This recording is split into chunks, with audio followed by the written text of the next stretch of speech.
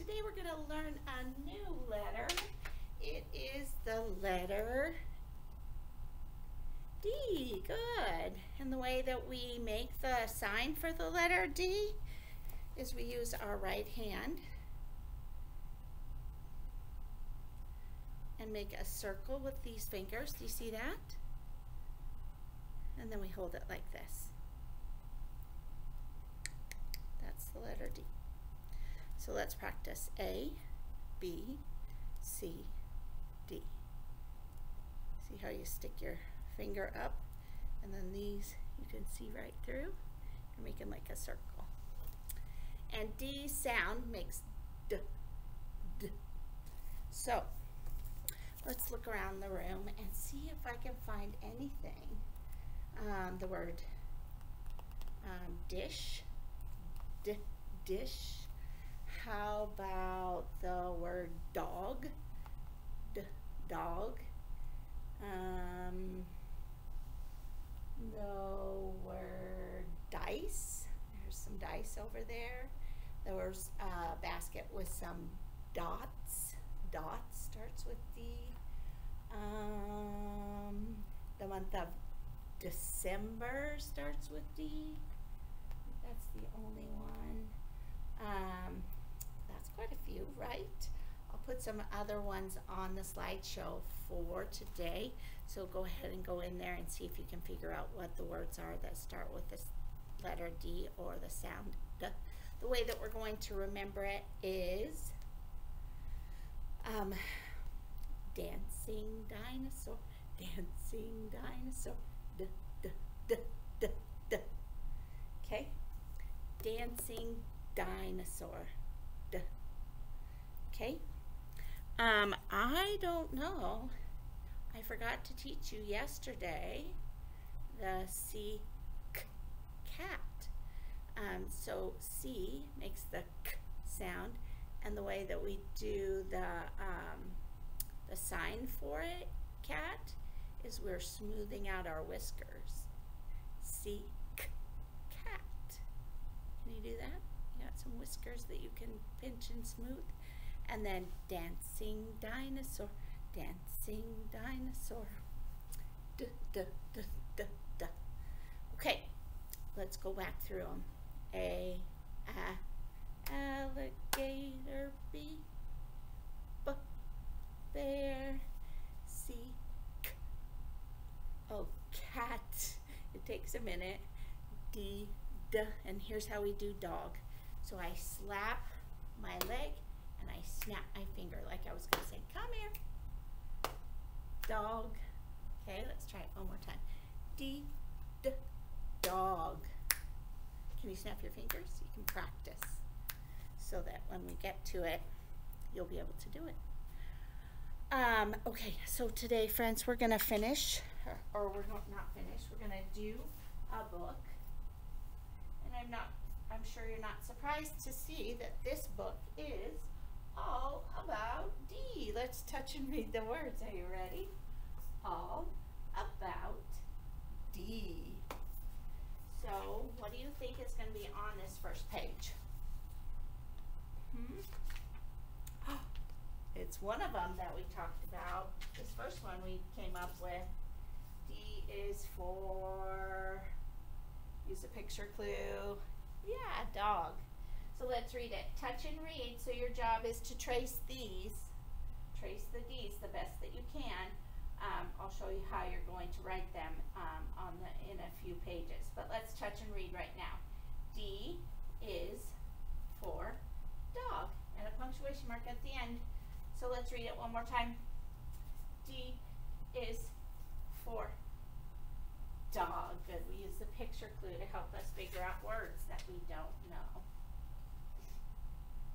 Or we could use the sounds. Um, Look at this one. We didn't think of duck. D is for, if we sound out the letters in this word, we could try and figure out what the word is too. We know D makes the D sound. U makes a, D, a, k, duck. That's the word. So let's touch and read it one more time. D is for. On these two pages is to trace and read the read the sentences. After you're all done reading the book twice, then you can go back and color the pictures. What are you going to do on this page? What's your job? Yeah, you're getting good at being word detectives.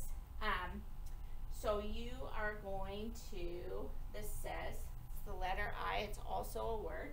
I can find thee. So remember, um, lowercase b's and d's are going to be a little bit tricky.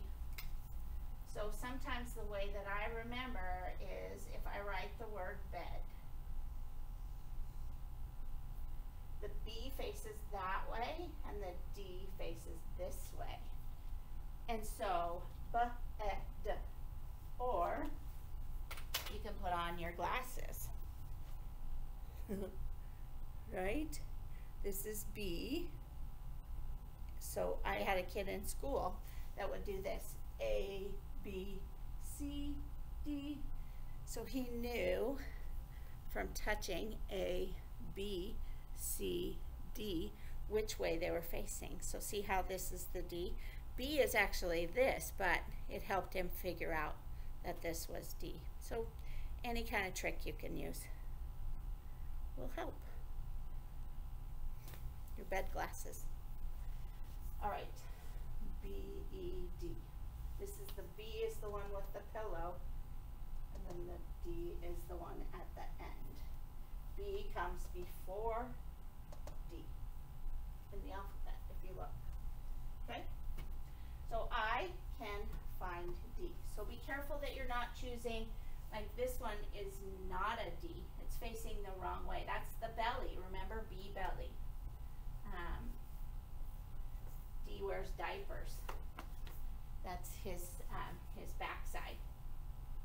So see how he has a diaper on that side? That's a D for diaper. All right, now that's I can find D. Can we read it one more time? That's definitely the word I can find D. The next thing you're going to do, my friends, is write the letter D, both uppercase and lowercase. So I can write D. The way that you're going to write an uppercase D, do you see how it comes all the way up to the headline? Straight line down to the foot line. So that's what I, how I start, and then I pick up because I start at the top, and then I come back up to the top, and I curve out and come back down together with my straight line down um, at the foot line. I curve out and back down. Straight line down, curve out and down. Straight line down, curve out and down. Straight line down, out and down. Straight line down, curve out and down. D is the same way as B except for it's backwards. Straight line down, go tick, tick, tick, curve back, around, and connect back up with your straight line.